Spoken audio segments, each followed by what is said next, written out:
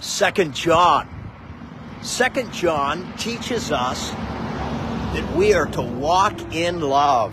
That's the message of the Apostle John as we come to the second of three letters that he writes, 1st, 2nd, and 3rd John.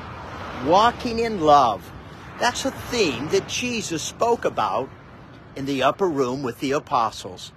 He said to the apostles, the night that he shared together in Passover, the night he was betrayed. Jesus taught. He washed the disciples' feet. You remember, he broke bread with them, saying, Do this in remembrance of me.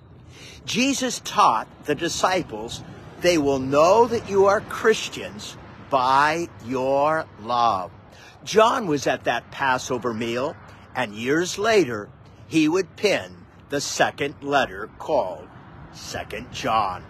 He speaks to us about walking in love. He teaches us in his letter that we are to give mercy and to give grace to other people. And when we do, we release peace in their hearts and in their lives, and also in our lives. Remember what Jesus said.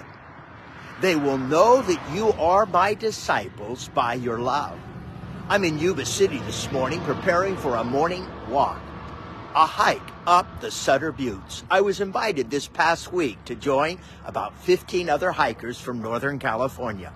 I'm very excited. But as I make my way up to the trailhead, I come by and I see all of these blossoms on these trees. Can you see them? How do you know it's spring? Because it's on the calendar. How do you know it's spring? Because the weatherman said it was. You know it's spring because the blossom is upon the tree. Spring is happening right now. Jesus said, they will know that you are my disciples by your blossom by that sweet fragrance of the smell of spring.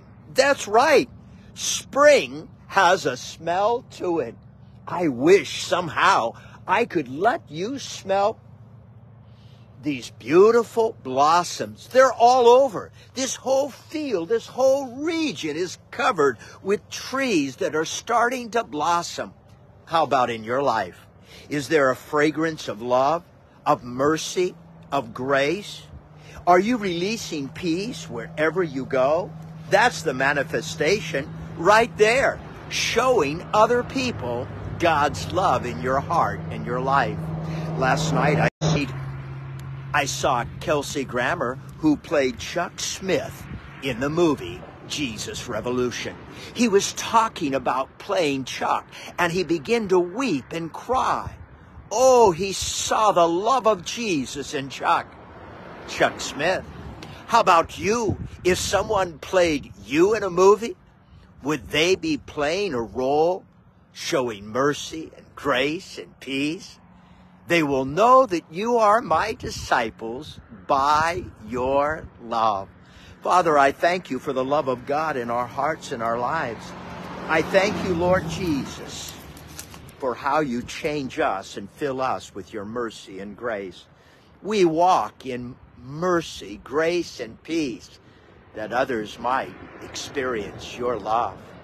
Let the world know that we are Christians by our love. In Jesus' name, you be blessed today as you walk with Jesus, as you walk in love.